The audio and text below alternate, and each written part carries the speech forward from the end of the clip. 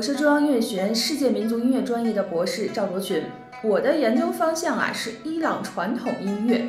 你们感兴趣的波斯在我这儿。另外呢，我的本科和硕士是毕业于中央音乐学院民乐系的琵琶演奏专业。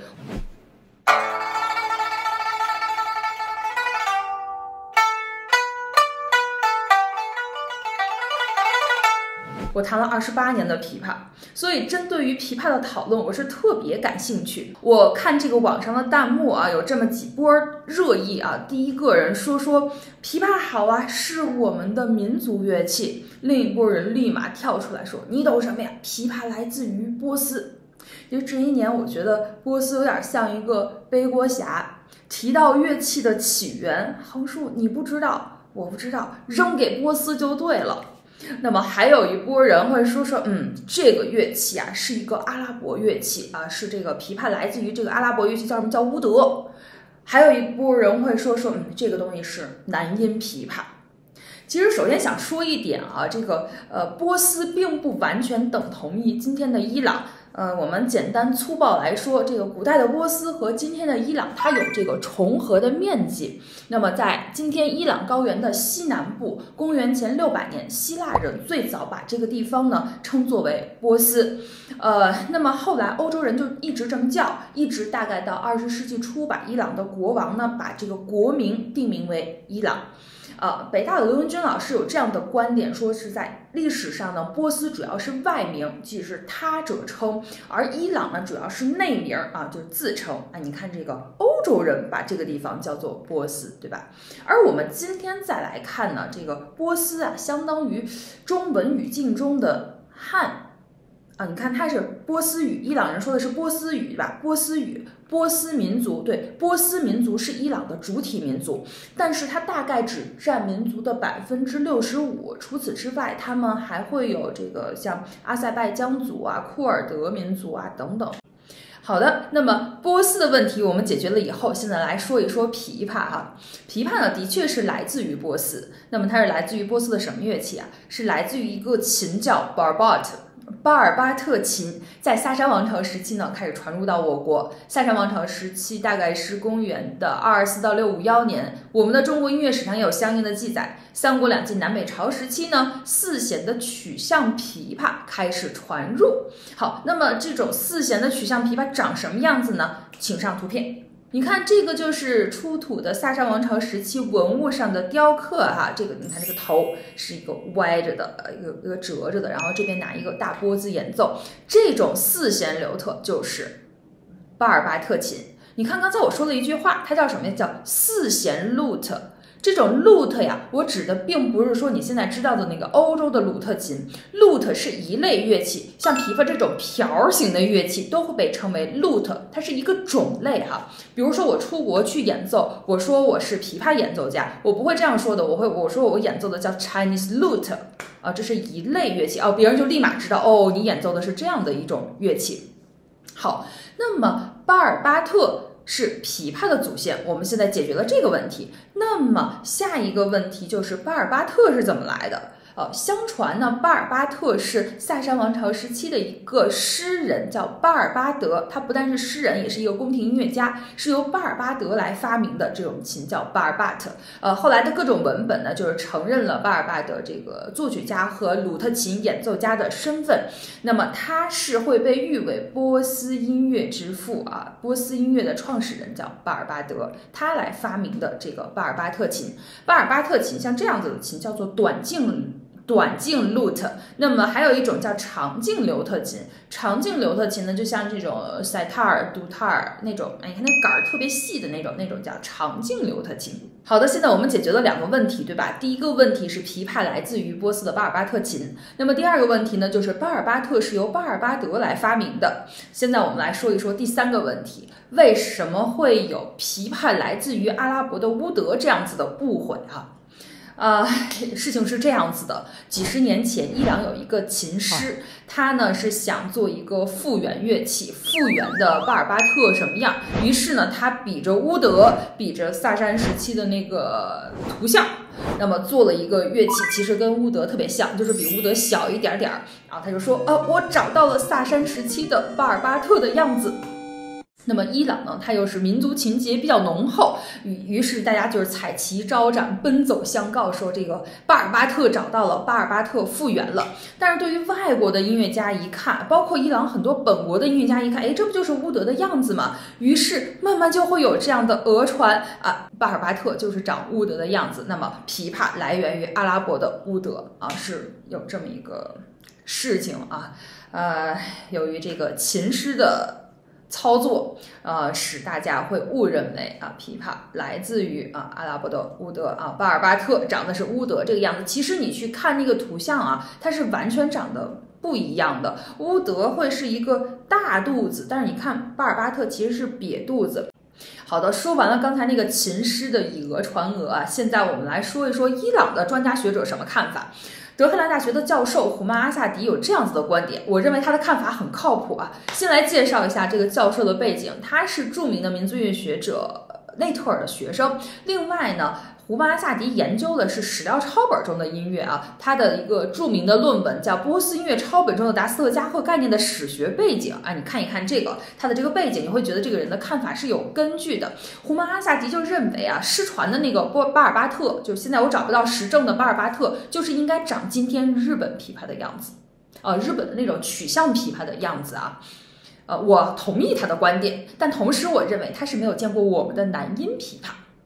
我自己认为巴尔巴特应该长什么样子呀？应该长咱们的南音琵琶样子，因为日本的文化也是从中国这边带过去的嘛。另外一点啊，南音啊，在这个泉州啊，泉州是当时海丝路的古港口啊，它这个南音琵琶，你看它会跟萨珊时期文物上的那个图像非常的像啊，就是稍微大了一号。我自己的观点是。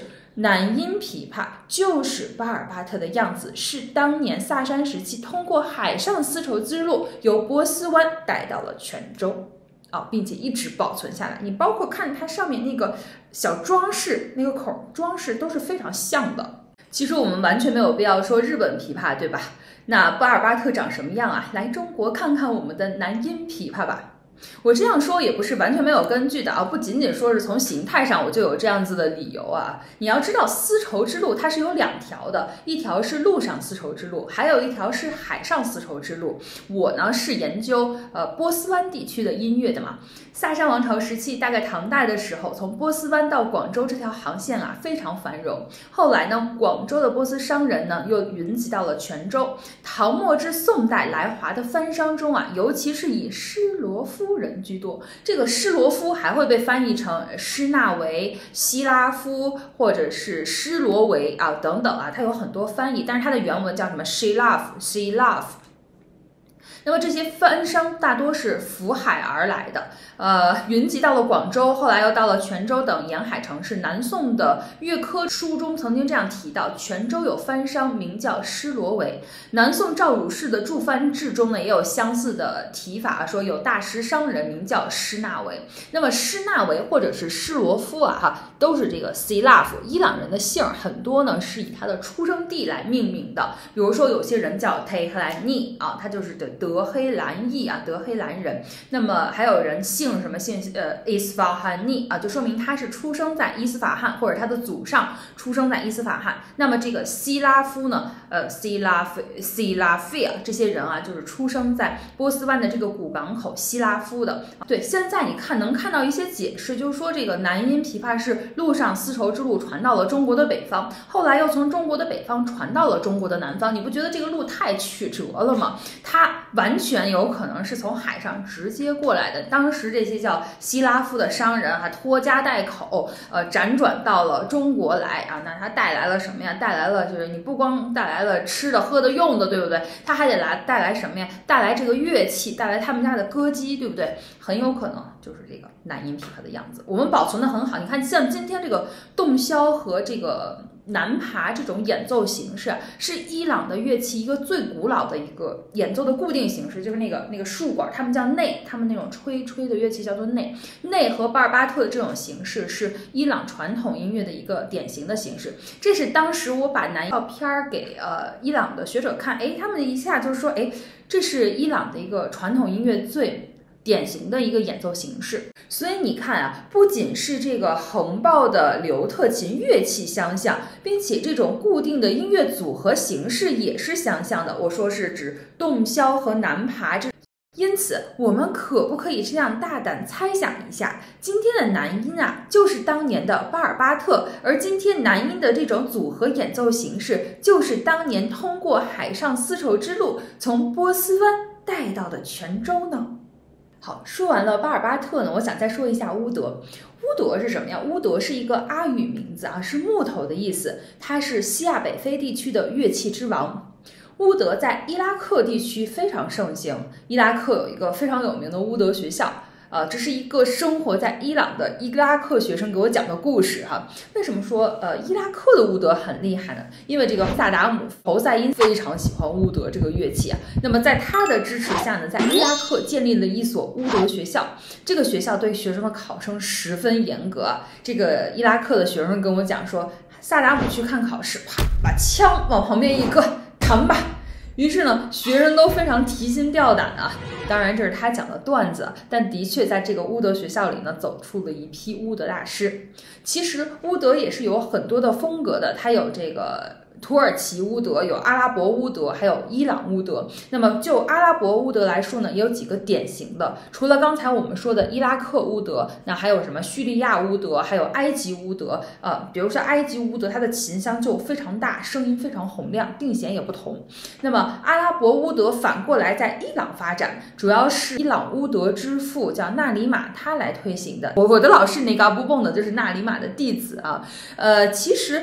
乌德在伊朗的发展，就是用乌德去弹奏伊朗的传统音乐曲集拉蒂夫啊，呃，这种乌德叫做北乌德，它的声音很低沉、很忧郁，跟伊朗的那个传统音乐很贴近。但是伊朗在波斯湾地区，它还有一种乌德叫南乌德，而这种南乌德就基本上跟阿拉伯国家的乌德是一致的啊，那这个声音就比较洪亮啊。再说到这个琵琶的发展，就是也是它是有不同的形式。我看现代琵琶这个样子，也不是说直接定型成这个样子的，也就是这几十年才是这样子的六项二十四品或者是六项二十五品。在明清时期，琵琶它是四项十品或者是四项十二品。你去看林世成先生他弹的一些琴，它中间的品都是有隔开的啊。